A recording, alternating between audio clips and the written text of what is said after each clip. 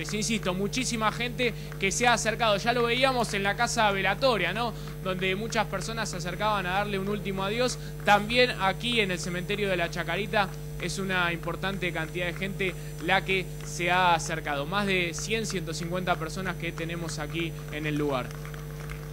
Francisco, además de, los familiares, amigos, hay personas también del mundo del espectáculo, hay muchos seguidores de él que lo están acompañando.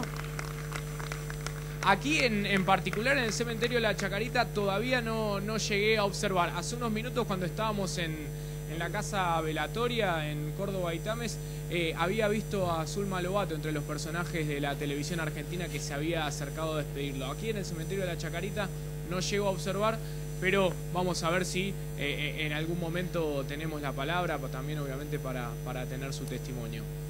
Y también muchos fieles, ¿no? Muchos adeptos a, al Pocho que están, que están despidiéndolo?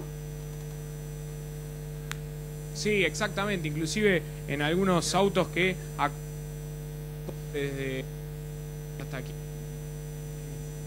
cartas también lo podían observar, ¿no? Las flores que eran arrojadas hacia el cajón mientras ya eh, se está procediendo al parecer a cerrar eh, el, ingreso hacia el panteón de la Asociación Argentina de Actores probablemente, actores, perdón, probablemente se, se limitará a, las personas más cercanas a este momento, mientras en el exterior, eh, entre medios, allegados, familiares y obviamente seguidores de Pocho la Pantera, se aguarda eh, en el exterior de, esta zona del panteón de la Asociación Argentina de Actores. Sí, cito, mucha gente, aplausos, eh, saludos para Pocho La Pantera, lágrimas por supuesto también, pero todos acompañando en el último adiós a Ernesto Gauna.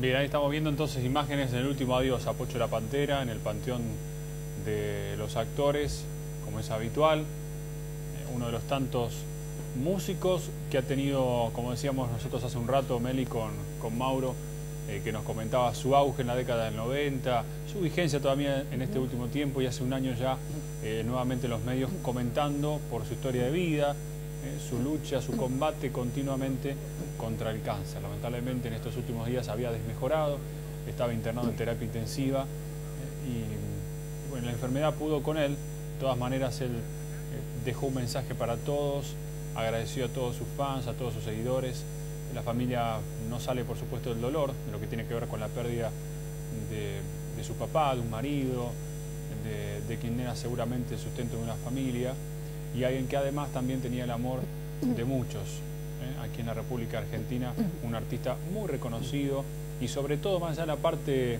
musical y del espectáculo, identifican todos a Pocho la Pantera como una persona dentro del medio que es difícil encontrarla, una persona agradable, buena onda, decían algunos en algunos Sí, con muy buen humor, ¿no? Fíjate en el último video que nosotros recién estábamos compartiendo en imágenes, la gran cantidad de, famosos y amigos que se prestaron para hacer este video con él. Era muy simpático, incluso hasta se reía de la propia enfermedad que tenía, ¿no? Como contaba Mauro, eh, él quería luchar, seguía con buena onda, con buen ánimo. La verdad es que murió muy joven, 65 años como consecuencia de este cáncer de riñón. Francisco.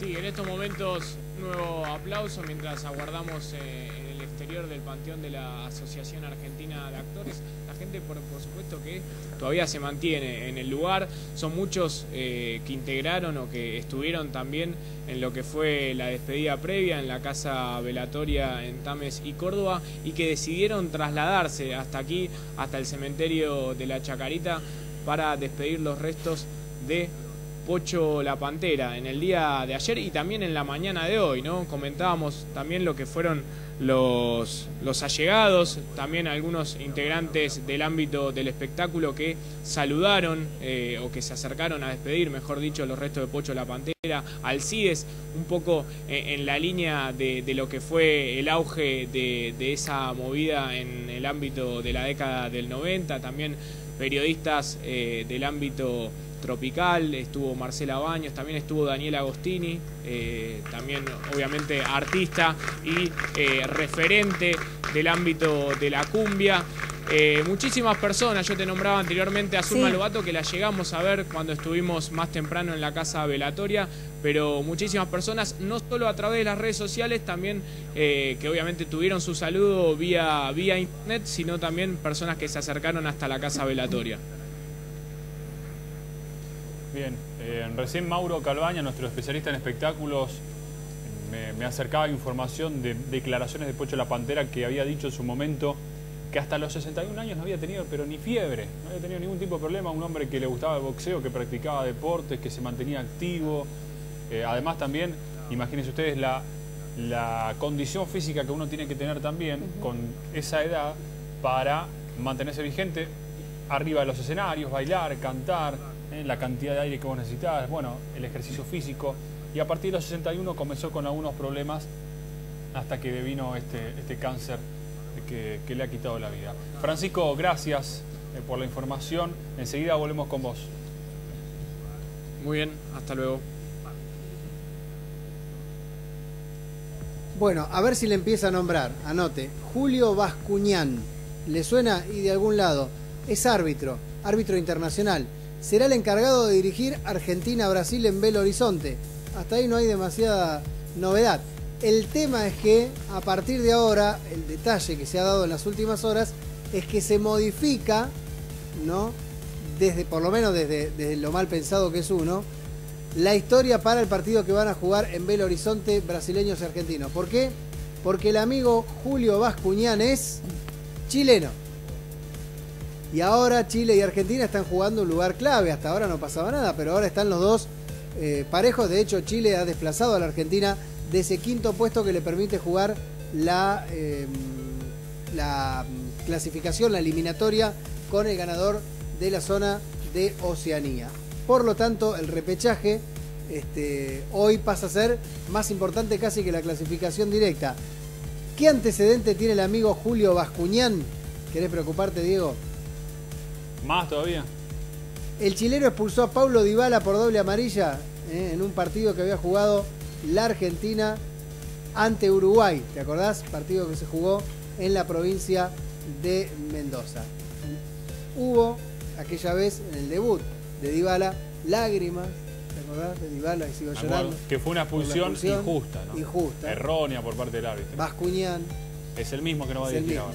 Así que anótalo. Si querés ser mal pensado, celo. Todos lo entiendo. perjudican. Lo entiendo. Todos, sí. Hay como una eh, hazaña con que no quieren que Argentina le vaya bien a la selección argentina. Organicen la AFA, que es un escándalo, y después hablábamos. Sino, Chile los durmió en el escritorio, ya es cualquier cosa. Ya es cualquier cosa. ¿Y qué opinión vas a poner? Si no tenés ni constituido legalmente y por apoyo de los clubes de tu misma federación una asociación de fútbol fuerte. ¿Qué querés? Te sacaron representación en FIFA. En Conmebol ya no pesás porque te duermen como ahora. ¿Qué más querés?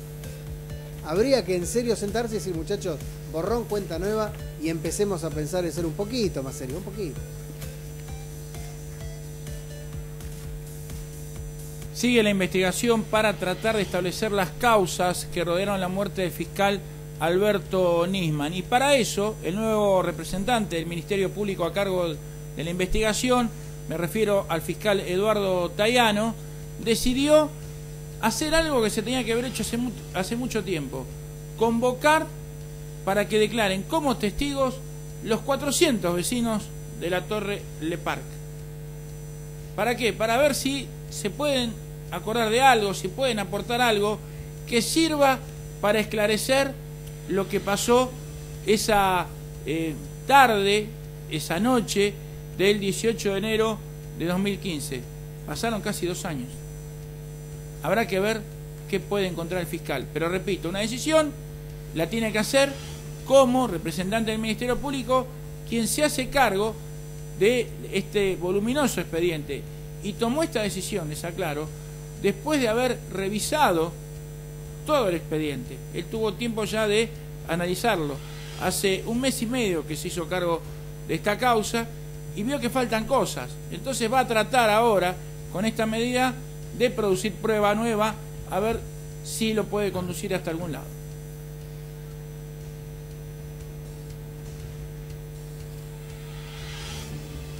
Bueno, si sos sandinista, querés escalar de la Concagua, atención, tenés que saber este dato porque hay polémica, también se está discutiendo un arancel, un pago de dinero importante si es que te tienen que ir a rescatar.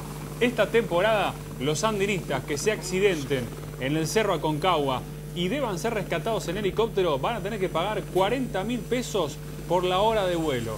La Secretaría de Ambiente está preparando todo para empezar a aplicar el pago a partir del 15 de noviembre no se le cobrará por anticipado a las deportistas que quieran ascender, sino que se trabajará con una tarjeta de crédito que deberán aportar los mismos sandinistas sobre la que se cargará el servicio solo en caso de que sea necesario. Con estas modificaciones esperan ahorrarse cerca de 6 millones de pesos.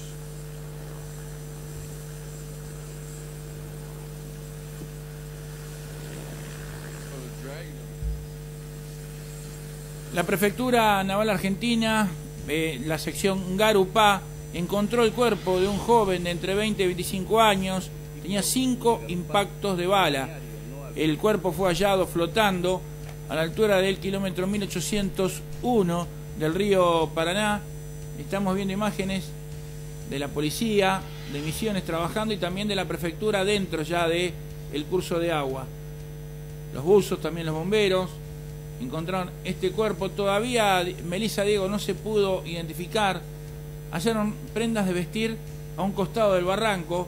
Están tratando de establecer si pertenecen al joven que fue asesinado. La muerte dataría, de acuerdo a la revisión del cuerpo, de entre 7 y 8 días antes del hallazgo.